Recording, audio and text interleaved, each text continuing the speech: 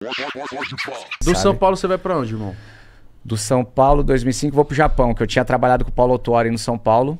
E ele vai pro Japão, Kashima Antlers. Aí ele me leva emprestado pra, pro Kashima também. Eu fico um ano no Kashima, Como 2006. que foi essa vivência lá, por favor? Cara, foi incrível, cara. Foi incrível, legal pra caramba. Eu namorava na época.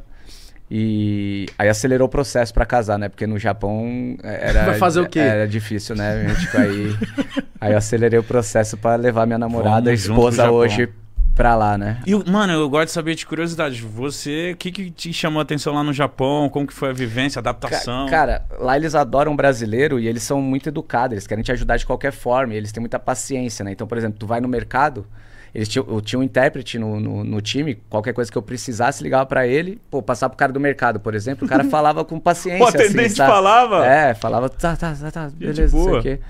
E, lá tem os restaurantes, tudo tem figura, né? Então, tipo, você quer um macarrão, não tá só, só aponta. Então é meio fácil nesse sentido assim, eles têm muita paciência. E tem uma história Mas e a maneira. Conta essa Tem uma história maneira que, tipo, aí minha mulher, quando foi pra lá, né, e tinham mais dois brasileiros no time. O Fernando, que era um volante que jogou no Vitória da Bahia, tava lá há muito tempo, e o Alex Mineiro, que o, o atacante, carequinha.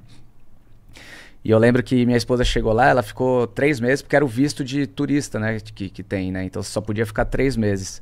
E nesses três meses ela falou, cara, vou tentar fazer tudo que dá pra fazer aqui. Então fez aula de japonês, aula de quadro, não sei o quê. Pô, legal. Cosplay E- do Goku. É, é, mais ou menos. E foi pra academia lá, né? E eu tô um dia em casa lá, tava eu e o Fernando, e ela com a esposa do Fernando conversando. Pô, você já falou com, com, com o Beckham? Aí eu, pá, falei, que porra é essa? Aí ela, pô, não sei o quê. Aí eu falei, quem que é Beckham? Ela falou, não, o personal. Que isso, Beckham? Aí, é, eu Beckham? falei, falei, porra, maneiro. aí falei, beleza, aí tô de bobeira, né? Não sei o quê. Ela falou, pô, pra academia. Eu falei, bora, tio, vou contigo lá, vamos ver como é que é essa parada. Mas você tava querendo saber quem que era esse Óbvio, vou Beck. dar uma olhada no Becker, né? velho? aí beleza, cheguei na academia, pô, entrei na academia. Aí ela, pô, bom dia, bom dia, não sei o quê. Oi, Becker. Ele falou, Fábio, esse é o Becker. A hora que eu olhei, era um japonês de moicano. Falei, Mas era o Becker, Era né? o Becker. Becker na época tinha um moicano maneiraço, tá Ah, ligado? todo mundo usava. Aí eu falei, fala, Becker. Falei, fica à vontade aí, então, fica tranquilo. Foi boa Pô, aula. nem vou treinar mais. Tá tudo certo. Puta Mas susto, tinha, algum- tinha outra coisa que você sentiu muita diferença na cultura, algumas coisas assim lá também? Ah, não muito, cara, porque o time, o time, o Kashima que eu fui era o time que o Zico jogou, né? Então, pô, eles adoravam o brasileiro dentro do clube. Já era um time meio abrasileirado. Já Cara, também, os né? jogadores sabiam falar direita, esquerda, tipo pra frente, pra trás, aquelas Que coisas, poucas coisas que a gente usava ali durante no, no campo. E então ele tinha alguns jogadores que já usavam um, dois, cruza, os caras falam quase tudo. E, a- e o campeonato, a bola? Você fala assim, hum, Ah, bom pra caramba, meu. Sério? Legal pra caramba. Legal pra caramba. O nível do, do, do jogo era muito bom. Óbvio que ele, tipo, era, saía muito gol, né? Porque eles, é, mentalmente, eles são muito fracos. Então, se toma um gol, eles se abatem muito do- durante o jogo. Então, você tá ganhando de 2 a 0 a chance de você tomar virada é grande. Rola muito disso. Então, os jogos terminavam 3x3, 4x3. Eu não sei. Tipo já muito- FIFA. É, é, mais ou menos isso, FIFA. mais ou menos isso. Mas o nível de, de- do jogo em si, porque eles são muito obedientes, cara. Tipo, o, preparador físico falava, ó, 10 bolas, 10 repetições. Pô, a gente aquecia, o brasileiro faz 5, 6 já, tá, já é o suficiente, né? Os caras não, faziam umas 10 mesmo. Eles são muito obedientes, né? Em todos os, os sentidos. São certinhos, Tudo, né? tudo certinho, cara. Então tu pede. Então, tecnicamente, eles são muito bons, porque eles trabalham muito, né? E... Mas, cara, eu gostei pra caramba. Gostei pra caramba de jogar. E como eu tava emprestado, aí acabou meu empréstimo, o, o Paulo foi pro Cruzeiro. O Paulo Autori foi pro Cruzeiro. Te Ele falou, pro mano, vem comigo. Eu falei, ah, aí foi. Pô, ele tava indo te ele arrastando. Também, tá me arrastando direto. Mas isso é bom. Isso você foi pro Cruzeiro em 2006, Dois- 2007? 2007. 2007. Eu fiquei um ano no Cruzeiro também. Tudo isso de empréstimo pelo. Mas, e você sendo jogador do São Paulo, Sendo então? de São Paulo ainda. Meu contrato terminava no final de, de 2007. Você chegou a se reapresentar no São Paulo em algum momento? E me reapresentei no comecinho. Meu contrato é até março de 2008. Eu Tá. lembro que eu me reapresentei. Não porque eu no- em 2006 para 2007 eu já acertei já tipo de férias, já fui direto pro Cruzeiro. Mas no final de 7 para 8 eu volto, mas aí fiquei dois dias, aí que eu só pra, pra rescindir o contrato realmente. Aí você vai pra onde? Aí eu vou pro Mônaco. Aí eu fico seis meses no Mônaco também. Foi o período mais complicado pra mim, foi 2007 2008. Por que, irmão? Que eu joguei pouco e, e saí do Cruzeiro e fiquei seis meses no Mônaco e seis meses no Santos. Nossa. Então foram lugares que eu não consegui me firmar, jogava pouco e numa, porra, num- numa idade complicada. Eu tinha acabado de ter, minha filha tinha nascido.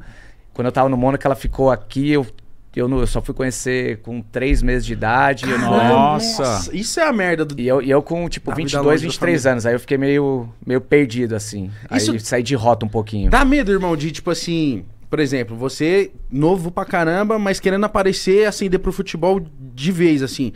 Dá um medo de, fala, de ficar, entre aspas, esquecido? Fala assim, mano, ninguém por- vai lembrar de mim Porque daqui que pouco. acontece? Em 2008, quando eu vou pro Mônaco, eu falo, puta, aqui é a minha cartada. Porque eu fiz seis meses de contrato. É, e na intenção de, se o Mônaco quisesse comprar, o passe já era meu, eu já não tinha mais vínculo com o São Paulo. Coisa então, boa. se ele compra, o dinheiro vem tudo pra mim e pros meus empresários. Então, eram seis meses que, porra, iria definir minha vida ali. E os seis meses não foram bons. Eu joguei pouco, a adaptação é complicada. Quando você chega num lugar desse pra se adaptar, leva um pouquinho mais de tempo. E eu, com, Com contrato curto, não deu tempo de mostrar o que eu, que eu queria pros caras. E, e fora com, com isso, sozinho, não falava língua, porra, difícil pra caramba. É, Foi ruim. Cara, eu- o Mônaco em si, pô, não tem como ser ruim, né, cara? Porque eu vivi pra caramba. Fórmula 1, campeonato de tênis. O que me fudeu foi futebol. O resto você É, tava. o resto o tava resto tava- adaptadíssimo, velho. Já tava quase falando cinco línguas. Restaurante. Mas o que, que você acha que teve ali? Falta de oportunidade? O treinador não falei, calma aí, É, chegou não, agora. Acho que é circunstância mesmo. Acho que né? é tudo, o momento, assim, acho que pedia mais, mais tempo, assim, de, de adaptação pra eu jogar, pra eu conseguir mostrar. Até porque o treinador era brasileiro, era o Ricardo Gomes, o treinador. Sim. Então isso poderia ter facilitado ainda mais, sabe? Mas, não sei, não aconteceu. Aí depois a parada você- não aconteceu. Aí depois no Santos você fica seis meses também, Seis não meses rola. também não joguei porque o Kleber, lembra o Kleber lá atrás esquerdo? Você, óbvio, você é corintiano, pô. E o Kleber tava no Santos e ele tava na Copa América com a seleção brasileira. E eu falei, cara, eu vou pro Santos que o Kleber ia ser vendido. Ele tava com a parada certa pra ir pra, pra Alemanha, se eu não me engano. E o Kleber acaba ficando no Santos. Esse Aí eu acabo jogando puta. pouco pra caramba também, só que um desses jogos eu faço contra o Grêmio. E eu vou bem. Aí o Celso Rotti, que era o treinador do Grêmio, Vem pra cá. me leva pro Grêmio. Aí sim minha carreira começa ali que eu conto minha carreira. São Paulo, aí eu tive a, minha passagem no Japão foi boa. E esses dois anos que foram terríveis, e em 2009, aí minha carreira começa aí. Você aí começa a jogar embora. titular no Grêmio também. É, aí já. E o, e o- ano de 2008 do Grêmio ele foi vice-campeão brasileiro, ele perde pro São Paulo. Então 2009 já era Libertadores, já era uma parada maneira. Então eu caí pra cima, né? Não, e o Grêmio per- cima. perde a final da Liberta também pro Boca. Acho que né, nessa 2007, é. É antes, né? Em 2009 a gente perde a semifinal pro Cruzeiro. Que aí o Cruzeiro perde a final pro Estudiantes, Estudiantes. em casa. Isso. Gol do Ba Bozelli. Bozelli, Bozelli. Valeu, Bozelli. Ó, vou começar a falar uns nomes aqui, né? Puta que eu pariu, mano. Eu vou Fala mais um então aí. Nossa, não vou falar não, o que eu falei lá na sala lá. Nossa. A gente tá Enfim. perto dele agora. É? Só, só uma dica, a gente tá perto dele, o nome que ele falou agora. Ah, não, chega, para. Chega, Chega, chega, eu não quero lembrar. Mano, era ele entrar, eu queria quebrar a TV, irmão. Pô, fiquei curioso, eu não ouvi que você... Meu camisa 18, mostra. Sabe. É uma data comemorativa que a gente tá próximo agora, se eu fui mais específico agora, se deu pra entender. Depois, Onde depois as eu te pessoas conto. trocam presente. Para!